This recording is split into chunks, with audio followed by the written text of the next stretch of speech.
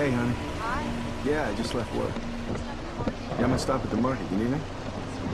Swing. Okay, you got it.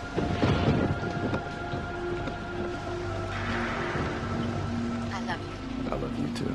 So how long are you gonna be? I don't know. I guess it depends on how long the line is. Shouldn't be too busy. Hurry up, okay? Hey, babe, I gotta go. I'll call you back.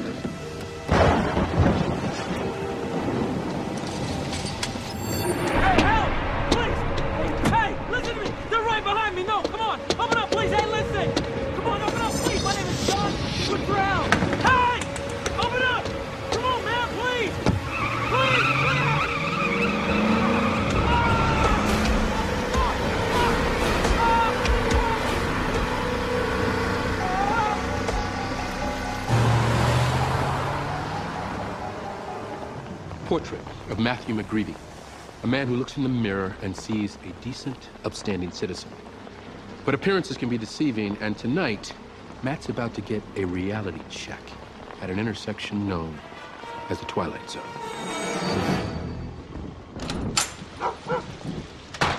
Matt? Hey, are you all right? I kept trying to call you back, but all I got was voicemail. One second, I'll tell you all about it. Rich. Honey? Honey, are you all right? What?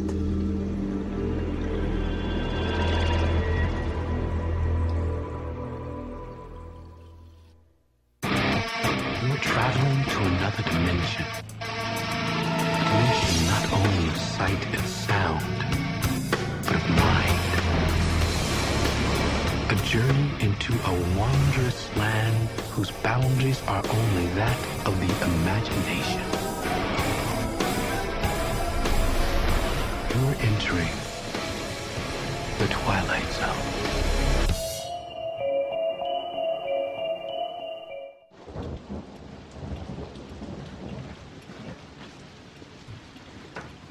Are you sure I can get you something to drink or some aspirin? You should have seen the look on his face. I mean, I'm telling you, this guy, he looked, he looked, he was like deranged. And, Baby.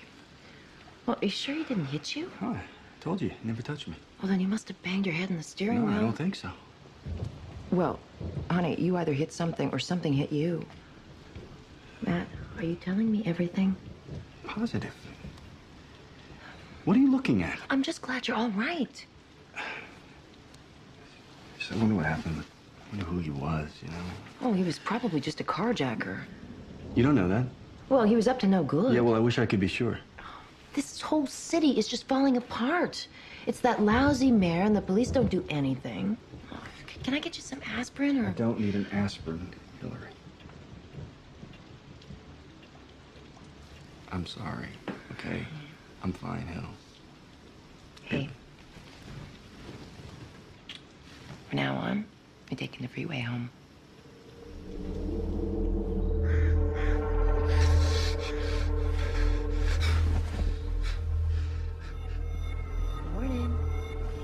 Didn't you wake me? Well, sweetie, we were tossing and turning all night. I figured you needed some rest. Oh, God. What's wrong? Oh, I'm just feeling achy. You think maybe I'm coming down with the flu? But your muscles are in spasm from all that stress last night. Mm. I got a house to show at nine, and don't forget you're taking the freeway. You promised.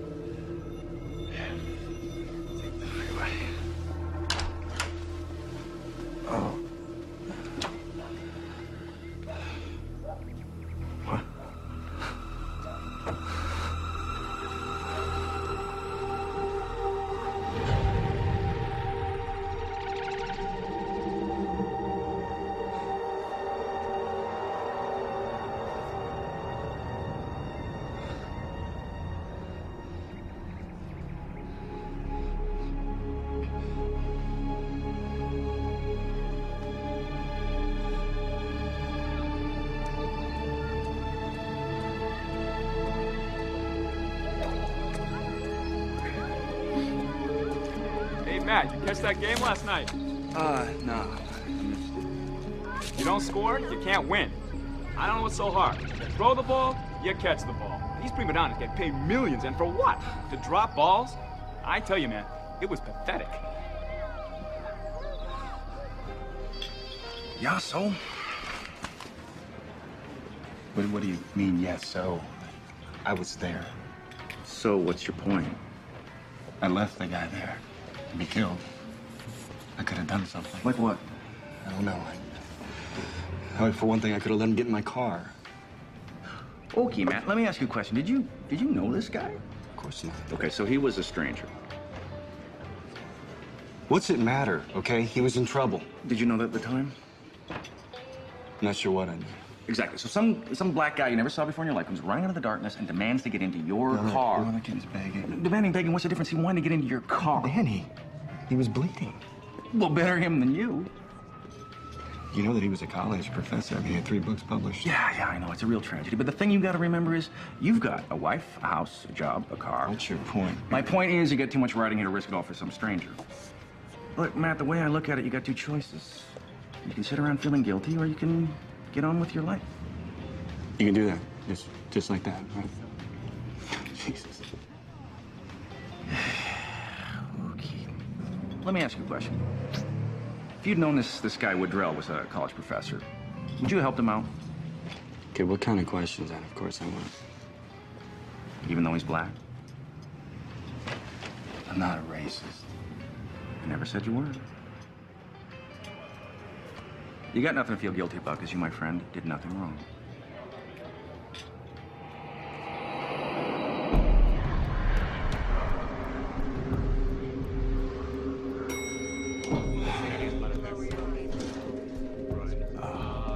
Hey, Charlie, how you doing? Uh, messages, please. Thank you.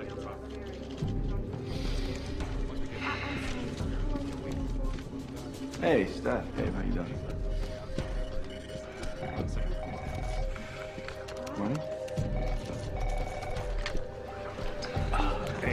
Relax, all right? It's not as bad as it looks. That can't be good for your skin. Just had a little accident, that's all. With the sun lamp?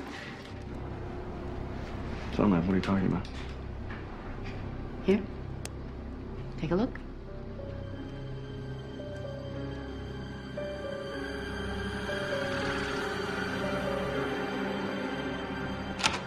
Good news is there's no sign of melanoma or abnormalities of any kind. Your skin, I'm happy to say, is disease-free. Okay, then what's going on with me? Nothing as far as I can see. Your melanosome levels are within the norm for a person of mixed race. Mixed race. Mixed. Part Caucasian, part African American. Yeah. I'm not part African American. I'm not African American at all. I showed you the photo on my driver's license. Mr. McGreevy, I'm a dermatologist, not a psychiatrist. You saying I'm. You saying I'm crazy now? Is that. Is that. I'm saying that melanin levels do not increase radically overnight. Skin pigmentation is determined genetically. You know what? I don't know what's going on here, but let me tell you something. I know who I am, okay? And I know who my parents are. You know what? You can help me.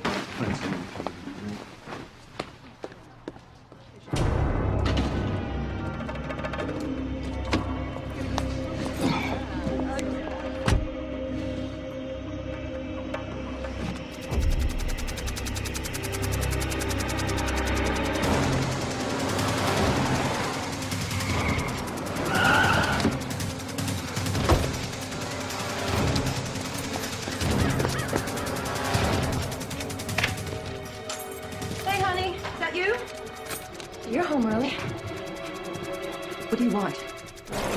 How did you get in here? What are you talking about? You get away from me!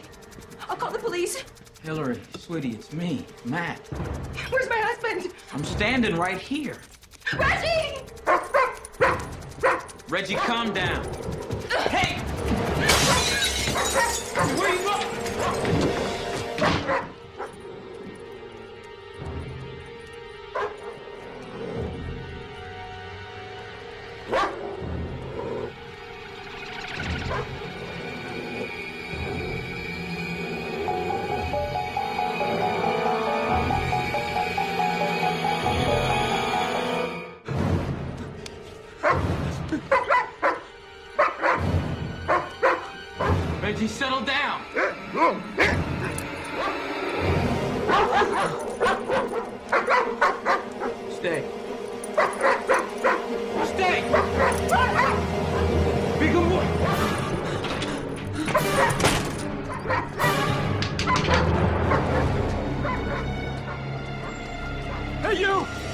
there!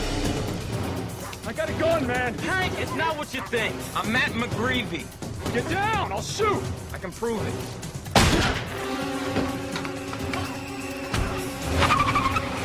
I'll do it,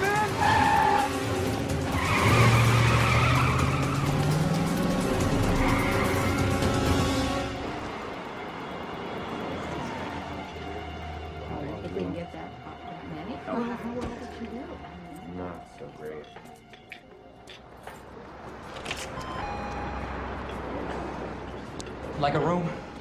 Single? That'll do. Okay, it's uh, $125 a night. How'd you like to pay? Credit card. Okay, got a picture ID? Yeah, sure.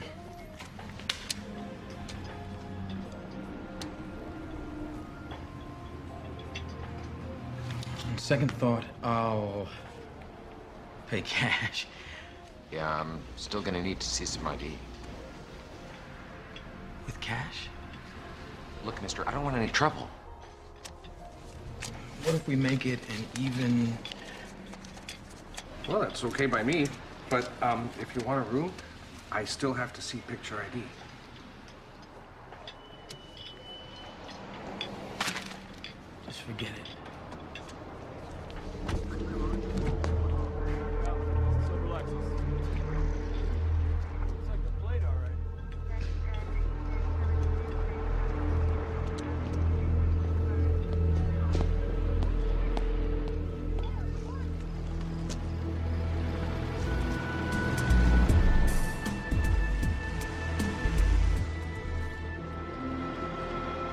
Taxi! Hey! Hey! Sir, Son of a bitch. Happens all the time, don't it?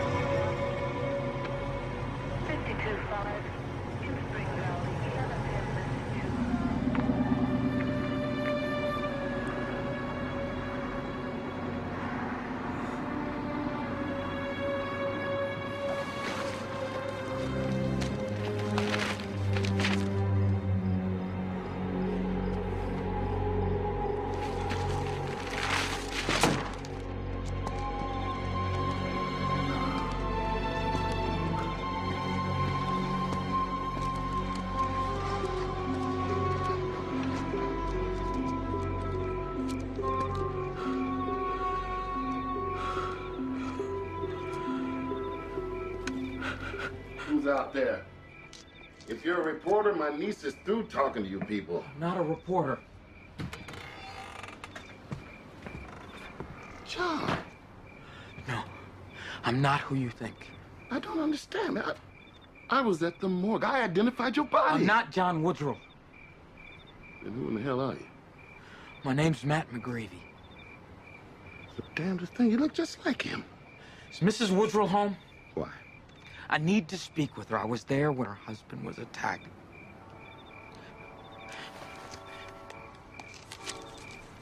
You see?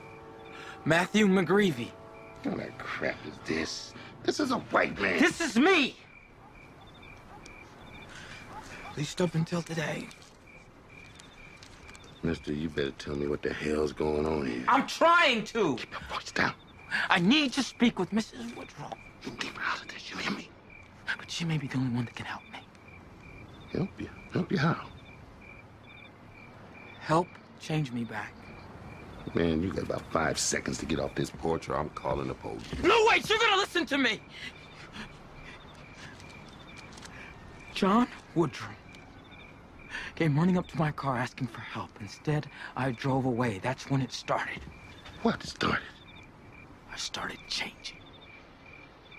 I've been thinking that if I could only make her understand that I'm not a, bad guy, I'm not an evil person, maybe if she knew that, she could forgive me. Maybe everything could go back to normal. I made a mistake. If I'd have known he was a professor, I... please, just let me speak to her.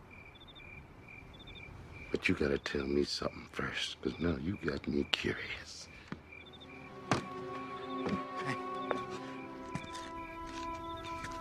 Would I make the cut or not? That's not what I meant, sir. That it happened so fast. I got scared, that's all. That's the only reason I drove away. Is it? Clare, don't come out here, baby. Mrs. Woodruff. It's okay, Thomas. I heard the whole thing. Oh my God. Clare, It's as if he was standing right here before me. I don't mean to bother you, Mrs. Woodruff. I just have one question I'd like you to answer for me. Anything.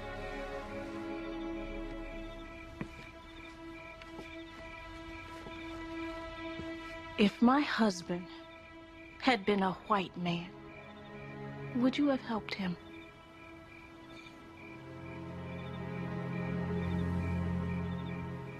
I'm sorry, mister. There's nothing I can do for you. Please, you gotta help me. Please. I...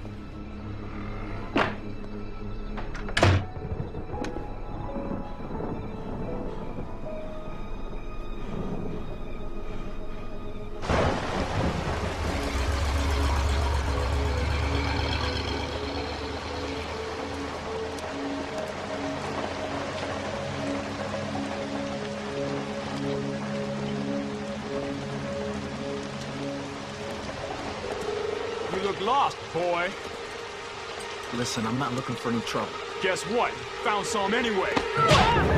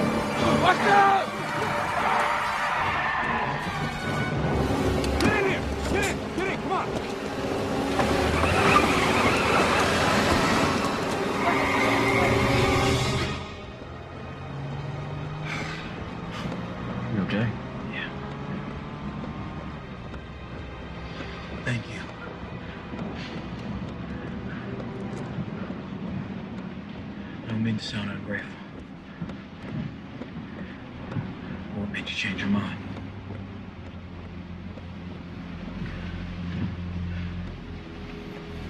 I guess because all I could think was. What if it were me?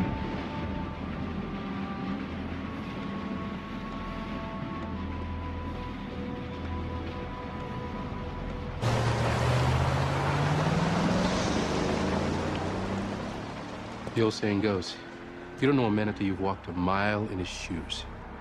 Matt McGreevy went one better. He got to walk in another man's skin. A simple lesson in compassion, courtesy of the Twilight Zone.